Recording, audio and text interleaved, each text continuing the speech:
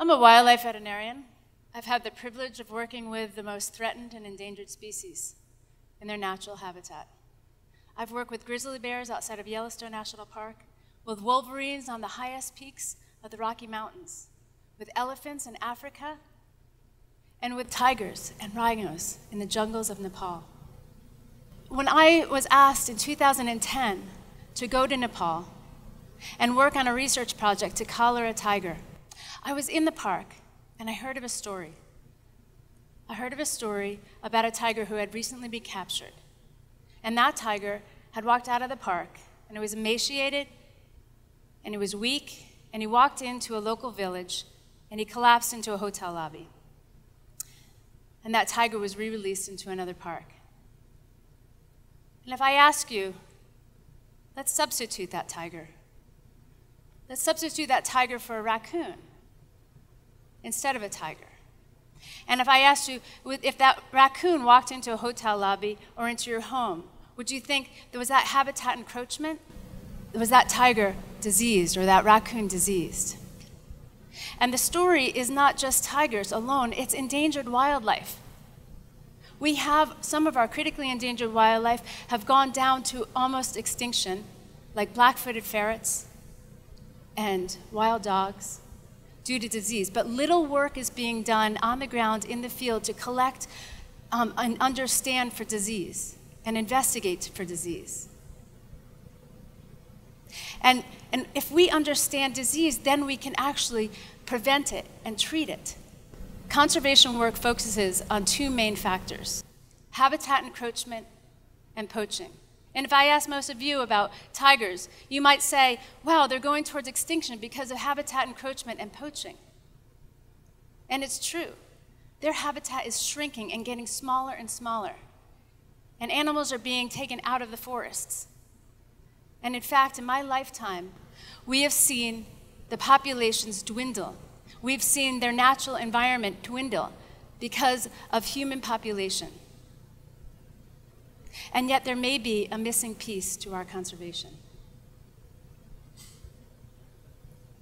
Conservation efforts focuses on these two things, but that missing piece may be wildlife health.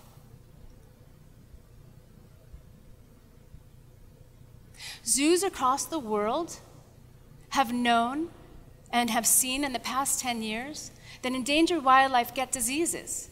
In fact, tigers get diseases that your dog gets and your cat gets. And we share diseases with, with animals as well. 60% of animals share diseases with us.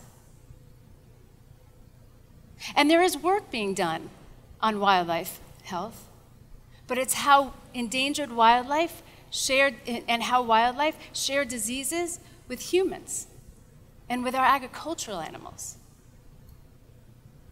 not how endangered wildlife get diseases.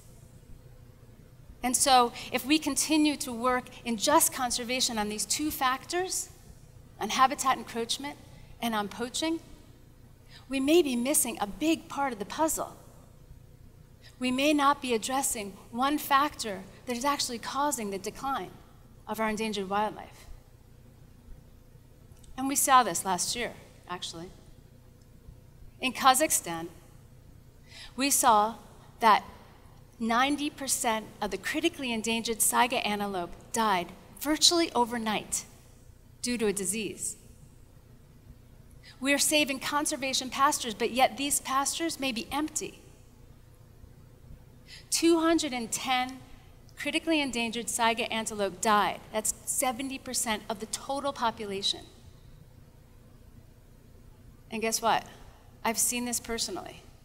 In Montana, as a wildlife veterinarian outside of Yellowstone National Park, I was called off to a bighorn sheep die off, about an hour north of Yellowstone.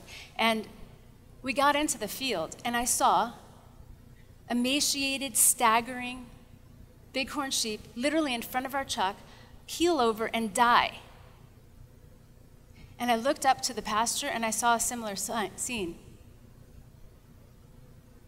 I saw bighorn sheep dying or dead in the pasture. What happened was that domestic sheep commingled with those wild sheep. And the domestic sheep were healthy, and yet it caused a devastation of the bighorn sheep. 90% of that local herd died, and it's not just in Montana, it's happening all over North America. Bighorn sheep are dying because of diseases that they get from, from domestic sheep. Let me give you a human perspective. When the settlers came to North America, they brought with them diseases like smallpox, tuberculosis. And when they commingled with Native American population, it wiped out the Native Americans. 95% of the population died due to disease. This could be happening with our wildlife, and yet little work is being done in order to protect and to look at disease in our wildlife. So, back in Nepal. Nepal is a small country. It's wedged between China and India. It has 30 million people in this small country. It's best known for the highest mountains in the world called Mount Everest. And yet, little is known about the biodiversity in Nepal. They have some of the most iconic species in the world Asian one horned rhinos, Bengal tigers, Asian elephants, snow leopards, red pandas, river dolphins. With 30 million people, though, they live in close proximity to these iconic species. And so I went back to Nepal a year later, and I helped on a surgery with a tiger. And it brought a stark difference that I saw in the US. I had reliable electricity and transportation and clean running water. And yet in Nepal, we had none of that. This is a photograph of me and the head wildlife veterinarian in Nepal doing surgery on a critically endangered species on a tablecloth. There's no running water. There's no surgical theater. There's no hospital. But the one thing that Nepal has, which I haven't seen anywhere that I've worked, is the people are incredibly dedicated to their conservation and to their iconic species. And so then I had to say, wait a minute. I have to shift my career. And I have to focus on this because this is lacking. And I asked the experts. I asked the experts in Nepal and I asked the experts abroad. And I first went to the head wildlife veterinarian. There's one wildlife veterinarian for 20 protected areas of Nepal. And I asked him what did he need in order to help develop a wildlife health program. What was he lacking? And he said not only resources, not only the training for the people, but something that I found in the US, and that was a lack of attention and lack of funding for wildlife health in the field, in the wild, to help critically endangered species. And I met with the people that were doing the hard conservation work. This is a photograph of the research station for NTNC, National Trust for Nature Conservation. They're doing the hard work, and I said, hey, with the work that you're doing, how about adapting a wildlife health program? And they embraced it. They absolutely wanted it. And I met Dr. Gretchen Kaufman. She was a director of conservation medicine at Tufts University. She was a pioneer in wildlife health, and she knew a lot about the subject. She had worked in Nepal for 10 years in the vet school. And she joined forces with me and she's now my partner. And we formed a nonprofit organization called VIEW, Veterinary Initiative for Endangered Wildlife, because there is a void in conservation and there is a need to include wildlife health in conservation. And we formed this organization because of three reasons, the three needs through training, infrastructure, and research. VIEW is the only organization in the world solely focused on endangered wildlife health. Yes, there are pockets of, of, of, groups that are doing wildlife health, but not solely focused not only on addressing wildlife health, but making it a sustainable program within the country. So let's show you some of the things that we do. Now, endangered wildlife like this tiger, some need to be immobilized sometimes for management purposes or for research.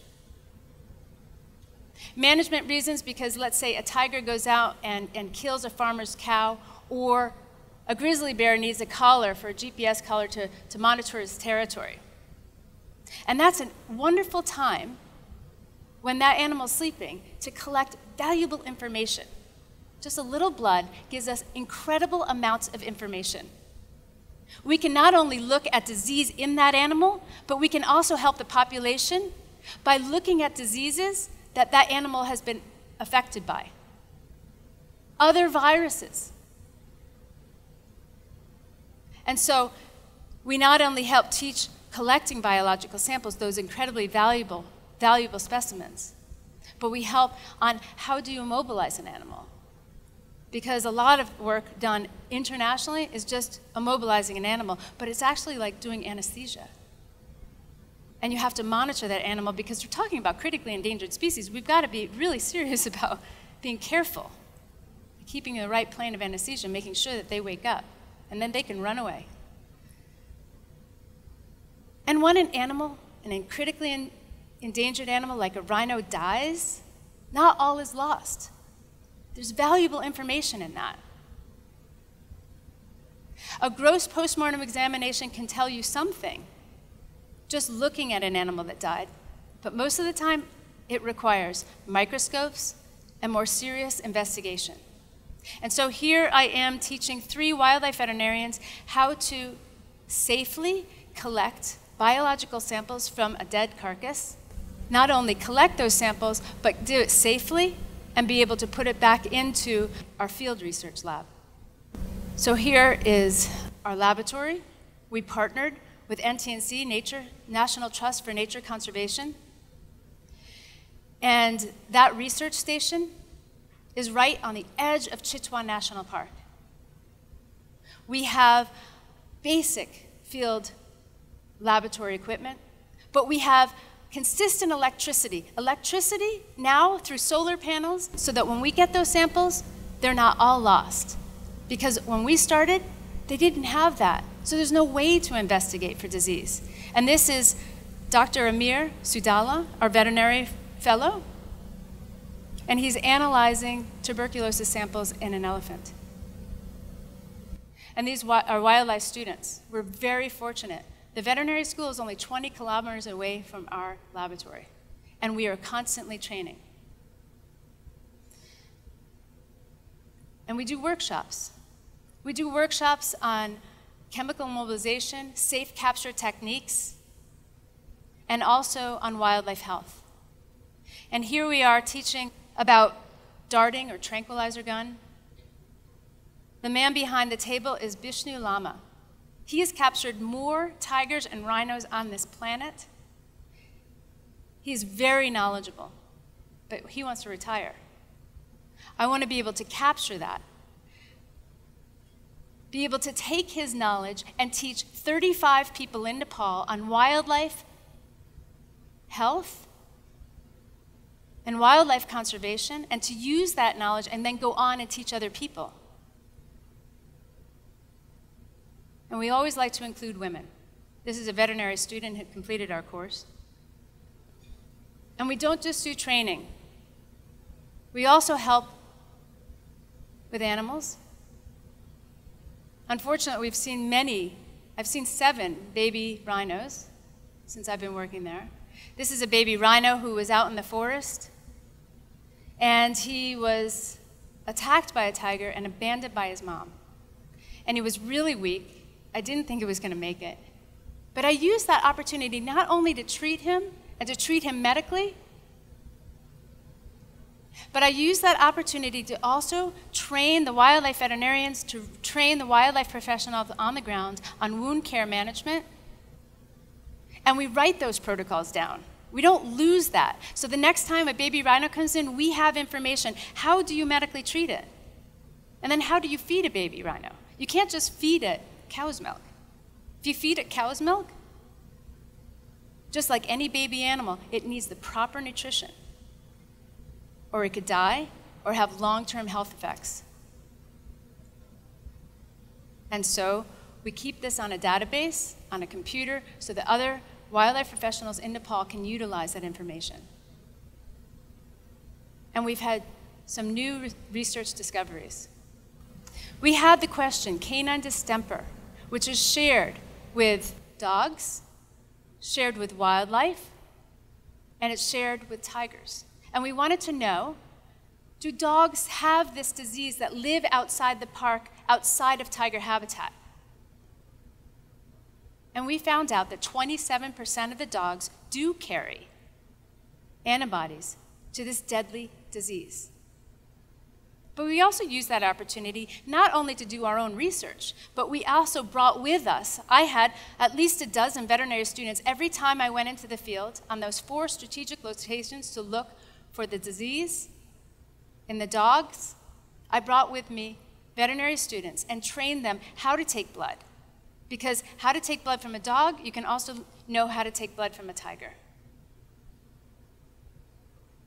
And we also vaccinated hundreds of dogs around the park. And another thing that we learned with our partners in a very short period of time was that we found the first case of tuberculosis in a rhino. That's one of the first cases in endangered wildlife in Asia with a disease, and a disease so deadly. We share this disease. Tuberculosis complex is not only in wildlife, but we see it in agricultural animals and we see it in people. 10 million people die a year due to tuberculosis. And in Nepal, they've done a really good job on conservation, on helping stop poaching. In the past three years, they've, they have had zero poaching, and yet, in the same time, 26 rhinos have died of unknown causes. That's two, 26 too many. Endangered wildlife no longer live in nature without the intrusion of people. Nepal is just a template. Tigers are just a template. They're an example. This needs to happen across species and across the world. We need to adapt wildlife health into our conservation package. Thank you.